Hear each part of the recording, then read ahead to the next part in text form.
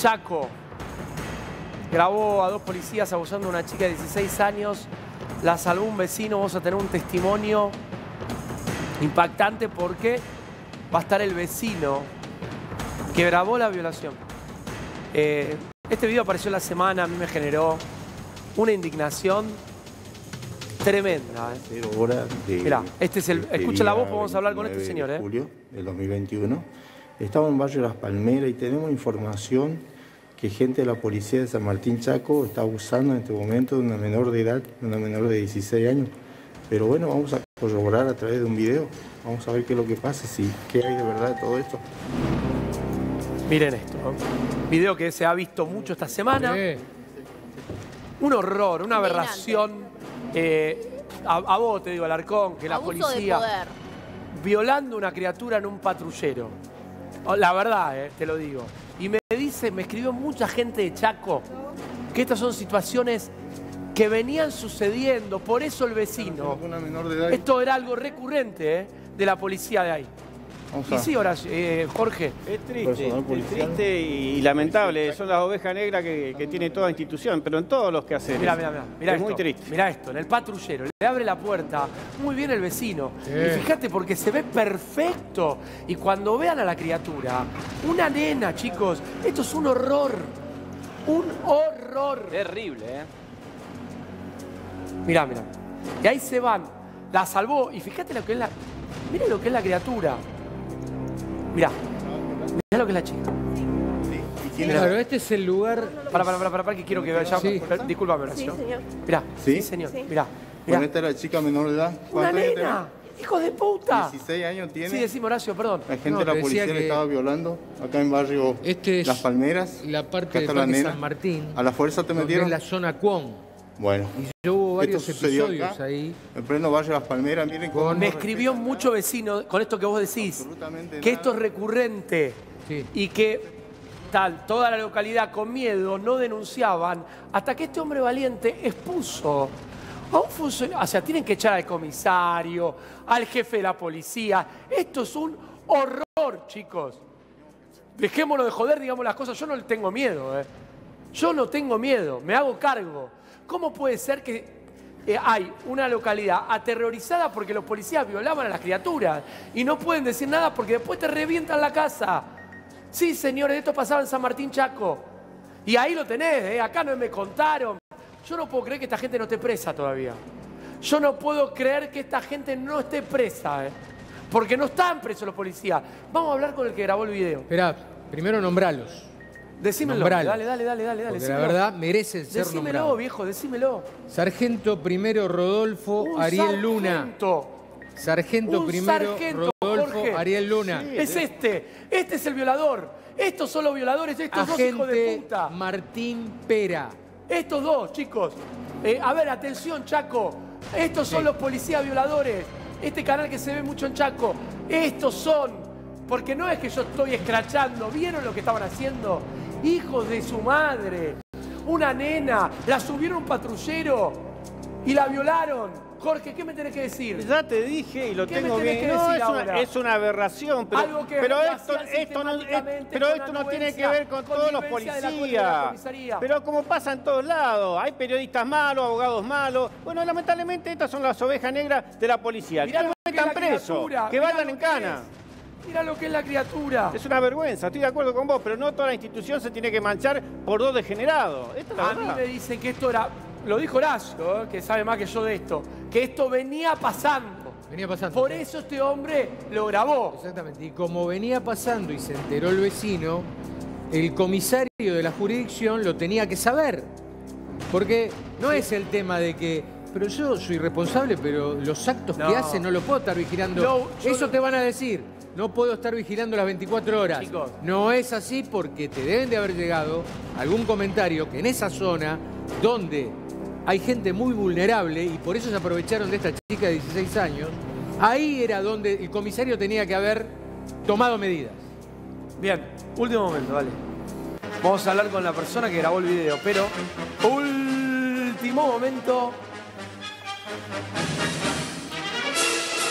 Mañana declaran los oficiales Pera y Luna abusaron de una menor. ¿Y sabes qué es lo más loco de todo y que me da asco? Están libres. No, están presos. ¿Están presos? Porque hasta, hasta el viernes Sí, estaban libres. Hasta el viernes Ah, estaban libres. Bien, bien, bien. Hasta el bien, viernes bien, no bien. habían denunciado los padres de la nena. Bien, bien, Pero bueno, se hizo la denuncia y están detenidos. bien. Porque el jueves, cuando yo averiguo que estaban en libertad, A ver, porque lo dimos como primicia. yo no sé, pero digo, poneme la cara. Para que esto, estos dos eran policías, subieron una criatura de 15 años arriba de un 16. patrullero, 16, y la violaron. Y después la tiraban como un perro a la calle. Y esto lo venían haciendo, chicos. Esto está naturalizado en este lugar de Chaco. Y acá, ojalá, yo confío en la buena predisposición de las autoridades chaqueñas, a estos tipos tienen que darle un castigo ejemplar para que el próximo policía que se atreva a subir un patrullero a una menor para violarla, realmente le tiemblen los testículos. Ejemplar le tienen que dar, una condena ejemplar. No puede ser. Esto que estoy viendo, Diego, ¿cómo andás? ¿Qué tal? ¿Cómo puede ser que utilicen el uniforme para violar arriba, arriba del patrullero, Dieguito querido? Es una perversión por un lado y abuso de poder al mismo tiempo. Estamos acostumbrados a esto. ¿Te acordás del caso de Natalia Melman en Miramar? Sí. O sea, no es la primera No, vez que esto- sucede. Esto es inescrupuloso, porque lo venían haciendo. Lo venían haciendo una y otra vez. La- eso es lo más grave, Diego. Sí. Son los dueños del pueblo, No, seguramente. no, bueno, está bien, está bien. Se terminó la joda. Poneme la cara de los dueños del pueblo. ¿No sabés qué? Uy, Dios, cuando entren a la cárcel estos dos muchachos. Lo que pasa es ¿Sabés que qué? hay- Tienen que entrar con un cartel. Yo fui policía y violé a una menor. Pero, y que Diego. los hagan pelota, ¿Sabés viejo. qué hay acá? Pelota que los ¿Sabés hagan dentro de la cárcel. Hay, primero, estos dos delincuentes, porque no se lo puede llamar policías, le están haciendo un sumario administrativo. El sumario administrativo va, obviamente, en carril paralelo a la, a la justicia. Sí. Si la justicia lo condena, obviamente que directamente en el administrativo lo van a rajar. Pero más allá, la intención que tuvieron, la intención, ponele que no la violaron, que abusaron, la intención que tuvieron con esa chica de 16 años hace que hoy tomen medida la jefatura de policía del Chaco no y loco. los eche, los exoneren. Ah, mira, ¿qué te pasa cuando ves esto? No, es indignante realmente, ¿no? Primero, el abuso de poder Pero va más allá del abuso de poder. Va más allá del abuso Esto de poder, porque cosa. hoy tenemos que agradecer a este vecino que vamos a hablar en instantes, que pudo grabarlo, que pudo identificarlo. Una valentía. Exactamente, porque estamos hablando de policías que después de un hecho, nosotros vamos a hacer la denuncia a ellos mismos, o sea, cómo empezamos a confiar, cómo empezamos a creer en las denuncias que los ciudadanos hacemos como argentinos. Es un desastre. Vamos a hablar con Gabriel, un héroe. Convengamos que este vecino No, no, y ojalá, y es un ojalá, héroe. y ojalá que se presenten alguna otra chica que fue abusada y bueno, se sumen a las denuncias para Para identificarlos Claro. y decir si hay más como estas Te digo, personas. Seguramente que sí, porque esta chica fue muy clara en el momento de la, en el momento de, de- cuando le preguntaron que dijo directamente que la habían violado, que la habían subido, que, Bien. o sea, fue muy clara. Quiero contar una historia. Quiero contar una historia. Tenemos un periodista en la puerta de la casa de esta criatura, que es una víctima. ¿Está, Ariel, ¿Está ahora? Ariel Hernández. Bueno, le quiero contar lo que nos pasó. Y te digo que si yo muestro mi teléfono, están atemorizados. Me, escribió mucha gente de esta localidad. Los manejos de la policía, viejo, son un horror. y no son, pero no, no pero- son pero te expresás mal. Diego. Pero pará, pará, pará, Volvemos al manejo de Déjame la terminar. policía. Yo te entiendo que estas dos lacras tienen que ir No presos. son dos lacras. y que- no, sí, porque evidentemente se Mirá, aprovechan de la institución mirá. policial para mancharla. Ahora, que vos digas que toda la policía es así. Yo no se escucho. Ahora, resulta que descubrieron que toda la Mirá, policía pará, es un desastre. Te Pero quiero contar, déjame, déjame contarte algo, Jorgito, antes de terminar esta locución en defensa de lo indefendible. Mandamos un periodista a la puerta de la casa de esta criatura víctima. La familia habíamos pautado una nota con la tía y con el padre. Nos cerraron la puerta y nos dijeron, tenemos miedo, nos están amenazando. Tenemos miedo, nos están Pero Esto amenazando. pasa con el narcotráfico también. Ah, pero, pará, pará, pará, no me, cambié- no me, no me jugues el narcotráfico. Cambiemos el eje, no cambiemos No el cambiemos el eje. eje. ¿Pero por qué no Tenemos el miedo eje? Ahora. eje. Una cosa es narcotráfico y otra cosa es este delito no, aberrante. pero pará. El miedo lo Vos da la estás policía y mezclando. lo da el Pará, narcotráfico. pero ¿cómo Son los representantes del Estado, nos tienen que cuidar, Pero no, estoy de acuerdo. no violar. Digo, Pero estoy de acuerdo, los están amenazando. Yo te voy a decir algo. Vení, vení, vení, vení. Yo no sé quiénes mierda son los que están detrás de esto. Pero quédate tranquilo porque voy a hacer un programa especial a tres horas acá hablando de esto. Amenazando a la familia. Olvídate, poneme la cara de esta mierda. ¿A dónde van a ir? Miren, nos ven mucho las cárceles, ¿no? Acá. Fíjense, Sí. muchachos, estos dos policías, próximamente, si Dios quiere y se hace justicia, van a ir a una cárcel. Metieron adentro a un patrullero, a una nena de 16 y la violaron una y otra vez. Estos dos. Y ahora están amenazando a la familia de la chica violada. Este y este. En connivencia con los que están amenazando a la familia.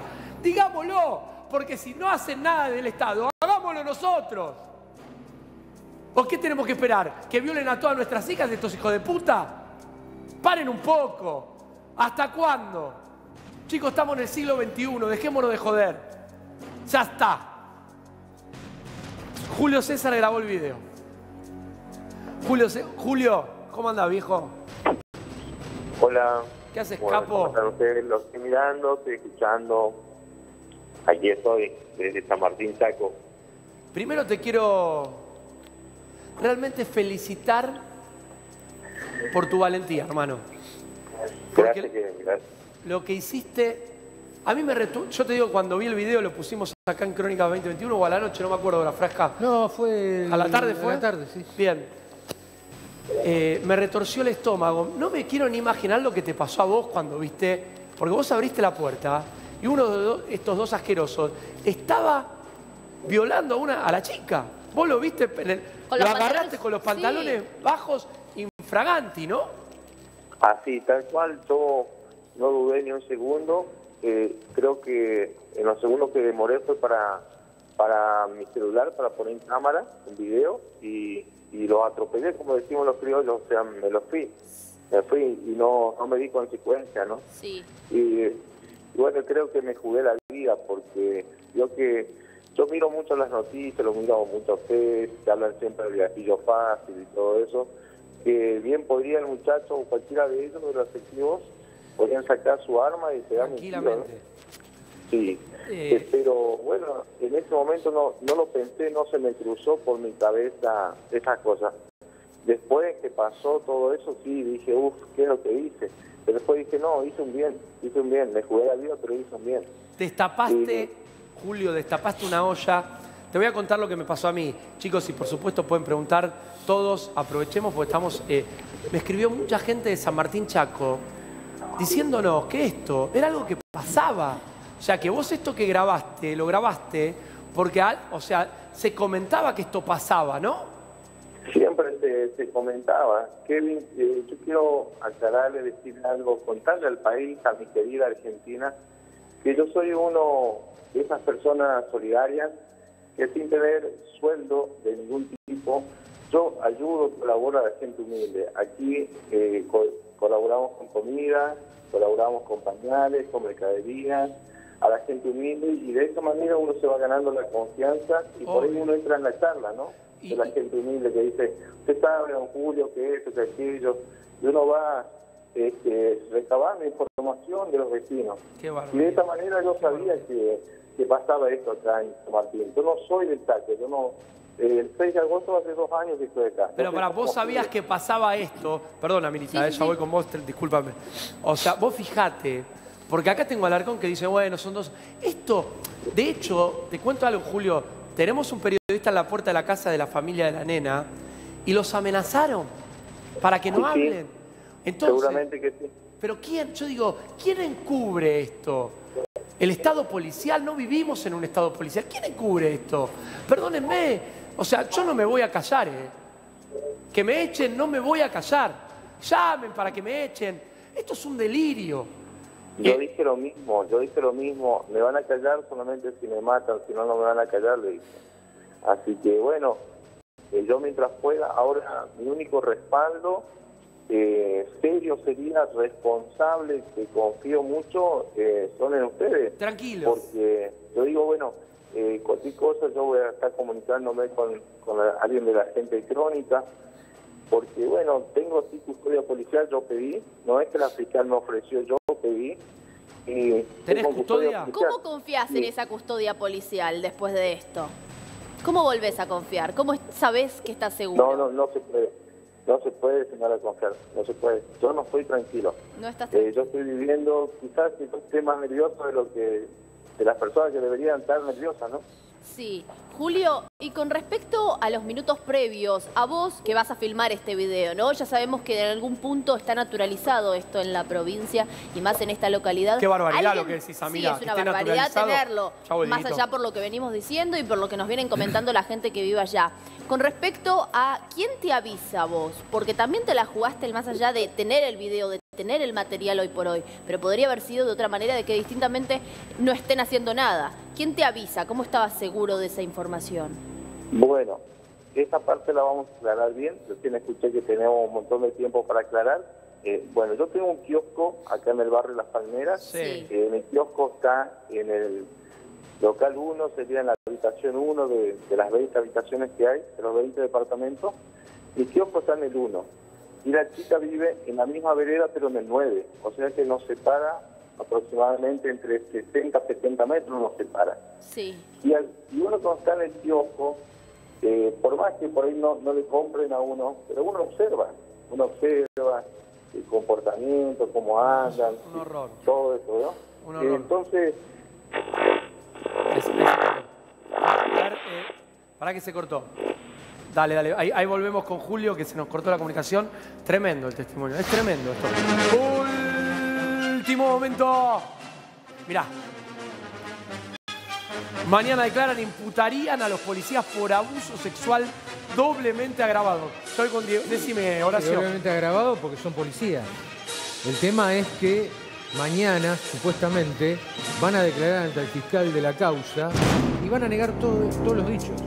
Van a negar todos los dichos porque van a decir, obviamente, que le tienen que hacer la cámara Gesell a la chica, que tienen que hacer un montón de pericias para determinar si fue violado o no, o abusado o no. Pero más allá de eso, van a querer despegar de la violación. Van a querer decir Que que, fue abuso simple.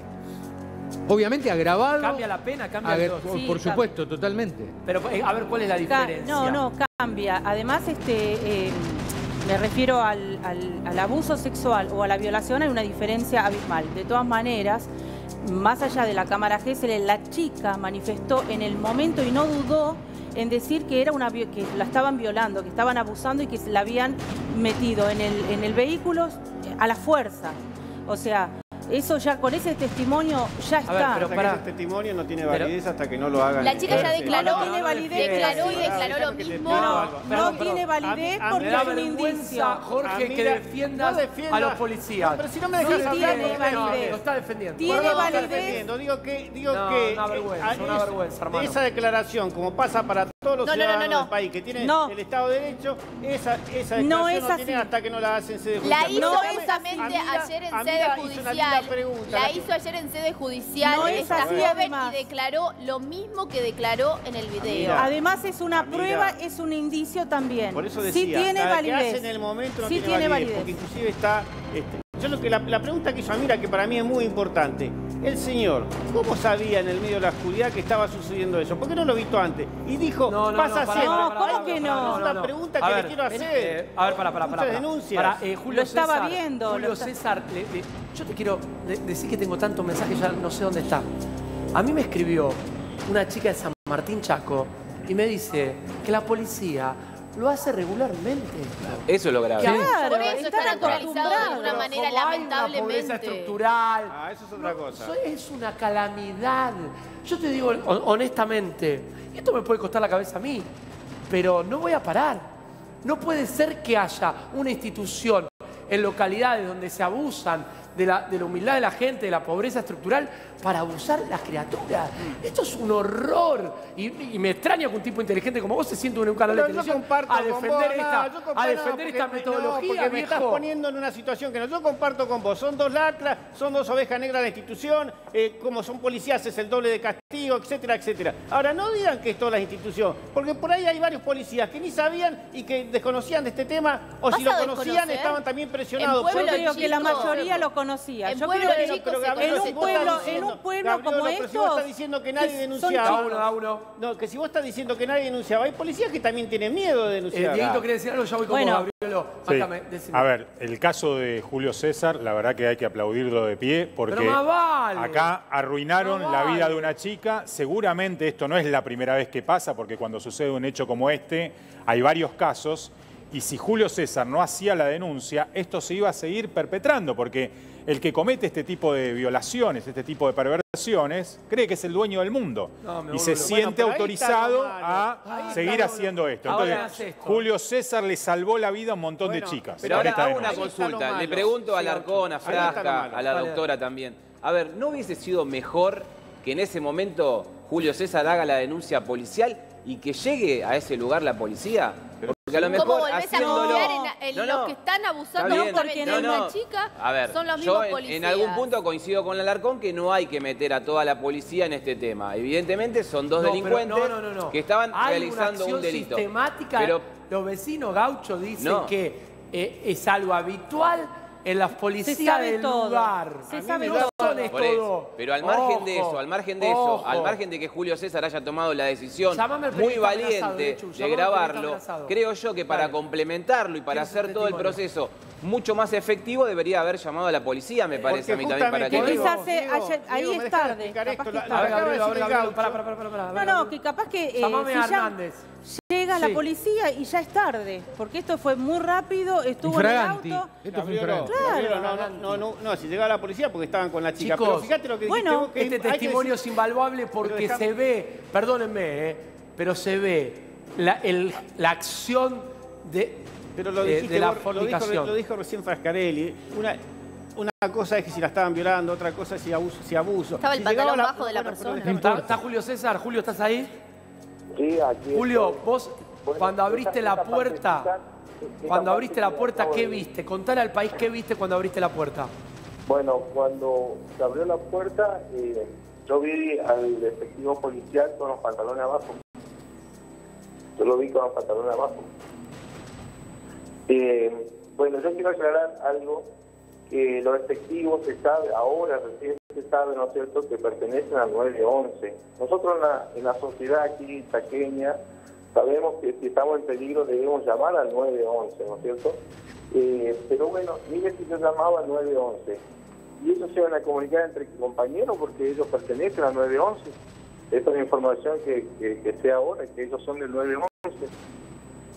No, pero si hubiera llamado, te digo. Van a escucharlo, ellos lo van a escuchar No, la modulación. Sí, pero no van a hacer nada. Pero porque- además, si vos ves un policía violando, no podés confiar en la policía, al verdad contrario. que te- a- la verdad Pero, que hable- si vos- hab- pero hablemos con Pero, claridad. chicos, por pero tampoco Me- metamos me a toda la policía No, también. no, me pero- parece, en eso coincido con el Ay. Hablemos con claridad. El señor Pero dijo violando. quién. Violando no. Lo acaba de decir, señor. ¿Qué vio usted? Un, un- un policía con pantalones bajos. Por eso era importante que Pero lo agarren infragante. eh, porque después un buen abogado lo va a defender. El tipo estaba va- haciendo pendulación. Exactamente. ¿Qué tenés que que- ver qué Lo va a agarrar abogado lo abogado, Lo va a defiende. defender y van a quedar este, libres. Este es Yo el no tema. Para Hay que- hay que ver hay que hacer una denuncia a las No instituciones te puedo creer. y decir a la gente No que denuncie. Porque usted Poneme está la cara, de poneme que la cara, poneme la cara de estos tipos, poneme la cara de estos ¿Sabes tipos. lo que pasa, Sí. Diego? Hay una ley. Eso es lo que dice Alarcón. Es verdad. Si tiene abuso simple, tiene una condena. Si tiene violación, tiene hasta 20 años. Y más accesorio por el tema de la gravedad que son policías. ¿Me entendés? El tema es así. Lo que pasa es que acá tiene que pasar Pero por un examen, la chica, por una cámara Gesell, y eso va a determinar si fue abusada o fue violada. Es lo No, mismo. y aparte para va a Pero le van no, a- para la justicia no.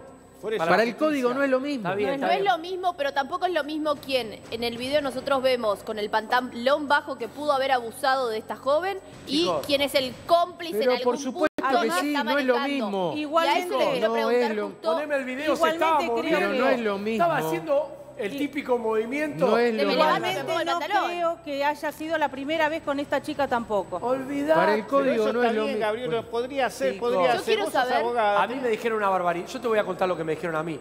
Yo te, eh, mirá el video, ponémelo acá. Para que te quiero.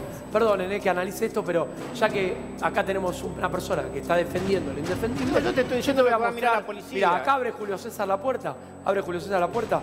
Y díganme si me perdonen en casa, ¿eh? Pero bueno, me parece que es importante. Fíjate, ahí se ve la nena de rojo, ¿no? De al Ahí está la nena. Ahí está, Mirá, al lado. Y van a ver, van a ver cuando abre Julio César la puerta, el movimiento que está haciendo. Ahí está la chica. Fíjate, ahí va a abrir la puerta Julio César, ¿eh? Muy bien, Julio, un crack. Fíjate que el tipo está haciendo un movimiento sexual. No, se estaba levantando los pantalones. Diego, ¿me dejas decirte quiero- algo? Se Yo estaba levantando este los cuadro, no voy a pantalones. hacer- Se estaba ¿Querés que te diga levantando algo? los Te va a doler pantalones. lo que te voy a decir. Va a tener más preguntas Julio que la policía. Porque